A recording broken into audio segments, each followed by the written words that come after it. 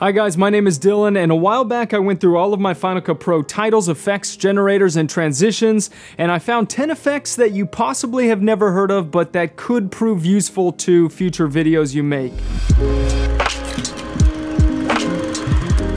So all of these effects can be found in the effects browser right here, obviously, and the first one I'm going to show you is called Frame.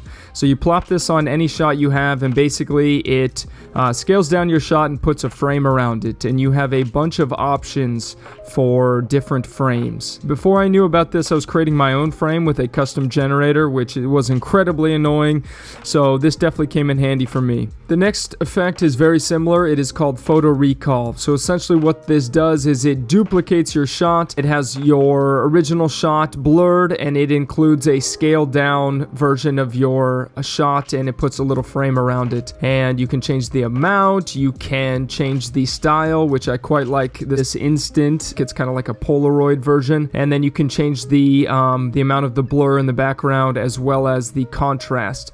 Or I suppose it just adds a little bit different hue, like a bluer hue. The next effect we have is called Visual Echo and essentially what this does is adds a slight delay in motion in your shots, which could be useful for maybe scenes in films where someone is disoriented or possibly horror films. Why do I feel like something bad is happening to me?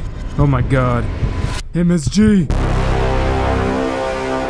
This one is probably rare to use, but nevertheless you have it. The next effect we have is an effect called Vibrancy, and to be honest, I haven't used this in a video because I kind of enjoy color grading. But if you're in a pinch and you need to pump out a video as fast as you can, essentially this adds a little extra contrast and saturation to your shot. You also have an option here that says Protect Skin. So for example, using it on this shot of my ugly mug, if I increase the saturation a little bit, you'll notice it turns my skin orange, and if we click Protect skin. It kind of brightens it up and takes out a little bit of that saturation there.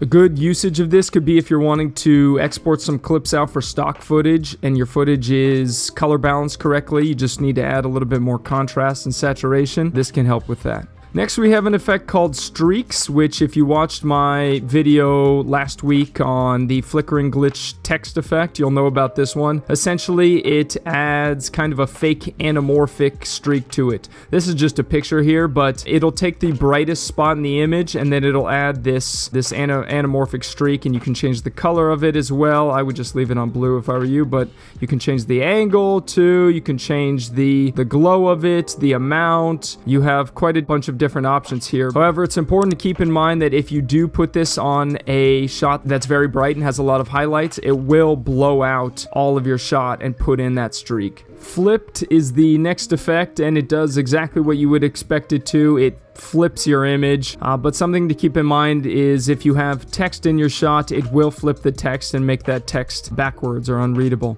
But you can, you have a couple different options here. You can change the direction of your text as well and the amount, which can be cool if you are animating a photo somehow or you are kind of angling a photo. But you can also use the distort tool. So um, I usually just use this for the normal effect with it all the way up to 100. Next we have an effect called letterbox and what this does is add cinematic, fake cinematic black bars to your image, and you have a bunch of different options for the aspect ratios with the most common cinema equivalent being 2 by 35 by 1. I'm probably saying that wrong. 235 by 1? I'm not exactly sure. If you guys know, let me know in the comments below. But something to keep in mind for this is if you are using a transition between two shots, so for example, this smooth zoom, it is going to mess up your, uh, your letterbox. So what you would do is add an adjustment layer over top and add the letterbox effect to that adjustment layer, and then it would not mess up in this transition process.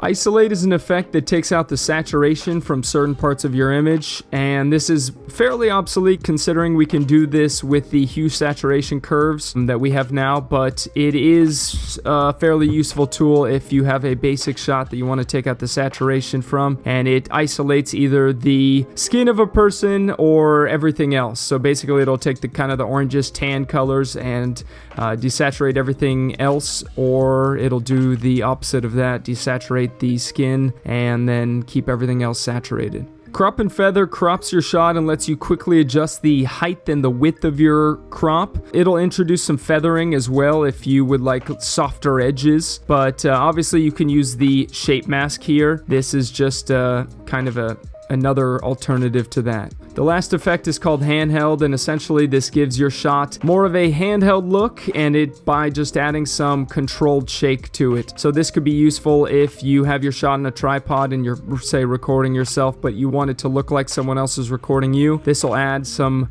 nice controlled shake to it. That looks that's definitely a little bit too much but uh, you can change the shakiness as well as the distance here. So if I do make this a crazy amount which I don't know why anyone would ever do that, obviously that looks a little nuts. Let's pull it out and make it something realistic.